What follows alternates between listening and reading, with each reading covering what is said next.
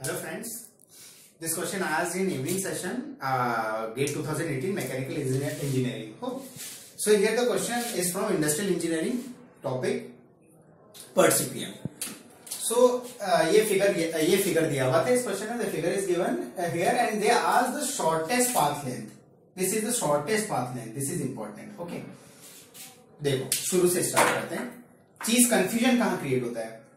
हमेशा से गेट पूछता आ रहा है क्रिटिकल पाथ या उसको चेंज करके बोलता है लॉन्गेस्ट पाथ बताओ। या उसको चेंज करके बोलता है चेंज करके ये भी बोलता है the minimum time taken to complete taken by this project to complete it okay longest path is the minimum time ठीक है? Longest path is the minimum time और वही लॉन्गेस्ट पाथ हमारा क्रिटिकल पाथ होता है।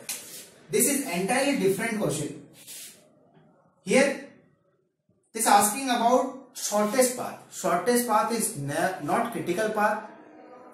From uh, from the word is shortest, it's not longest path. It's not minimum time. Okay, let me write for you.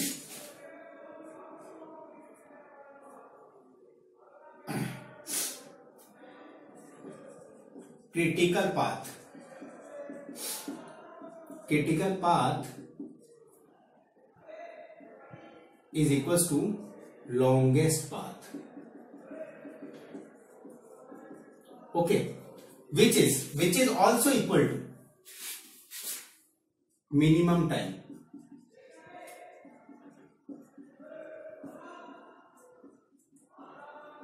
अब देखो, मैं थोड़ा समझाता हूँ क्रिटिकल पाथ होता क्या क्रिटिकल पाथ क्या होता है?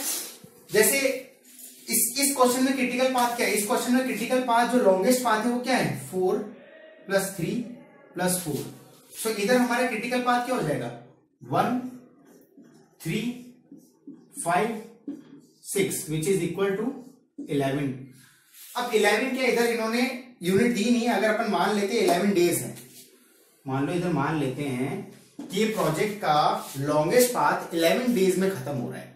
ठीक है? इलेवन डेज़ में अगर ये क्रिटिकल पाथ क्यों बोलते हैं इसको? क्योंकि इलेवन डेज़ में खत्म हो रहा है। इलेवन डेज़ में अगर ये इलेवन डेज़ ले रहा है, अगर इसको क्रिटिकल पाथ बोलेंगे तो अगर हमने इस पाथ को फॉलो करेंगे तो सब हमारी एक्टिविटीज़ इस पाथ के, इस 11 डेज़ के अंदर खत्म हो जाएगी। जैसे कुछ एक्टिविटी सात डेज़ लेती सेवन डेज़ ले रही कुछ एक्टिविटी एट डेज़ ले रही है कुछ एक्टिविटी टेन डेज़ ले रही है। पर मैटर ये करता है कि सब एक्टिविटी कवर होनी चाहिए, इसलिए अपन उसको क्रिटिकल पाथ बोलते हैं। और मिनिमम टाइम बोलते हैं कि इतने टाइम में प्रोजेक्ट खत्म होगा, इससे कम में अगर अगर 11 डेज़ में अपन जैसे टेन डेज़ में खत्म करते हैं तो ये एक्टिविटी रह जाएगी क्रिटिकल पाथ वाली एक्टिविटी रह जाएगी। तो कोई एक्टिविटी छूटी नहीं चाहिए। सब एक्टिविटी कवर होनी चाहिए क्रिटिकल पाथ में। ठीक है? तो इधर पूछा है शॉर्टेस्ट पाथ तो अपन निकालेंगे। ठीक है? शॉर्टेस्ट पाथ एक तरीके से निकालो।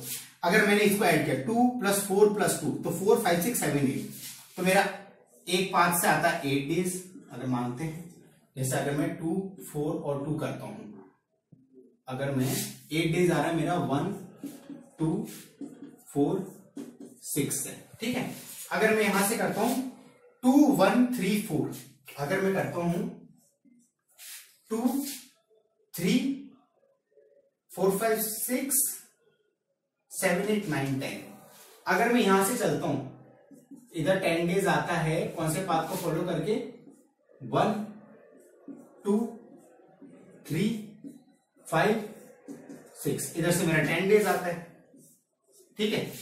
अगर मैं इस पाथ को फॉलो करता हूँ one two five six two three four five six seven eight इधर से मेरा एट डेज़ आता है।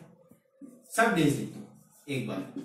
It's a lengthy question no problem one two five six one two five six से मेरा एट डेज़ आता है।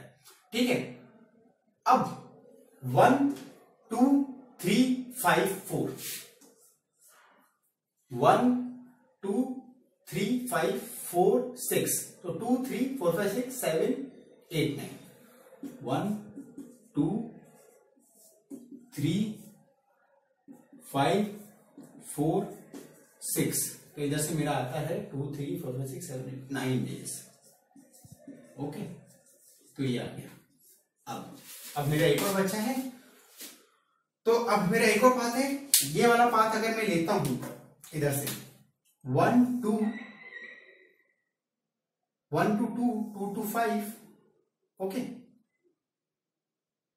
four two five and this तो two three four five six seven अगर मैं ये लिखता हूँ।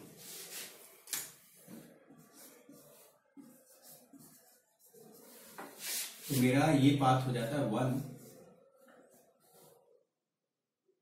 two five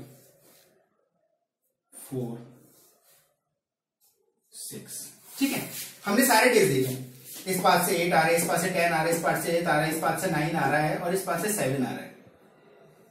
सेवन डेज़ से शॉर्टेस्ट कुछ भी नहीं है। तो अगर हम ये पास फॉलो करते हैं one two five four six तो अपना आंसर आता है सेवन डेज़ ठीक है?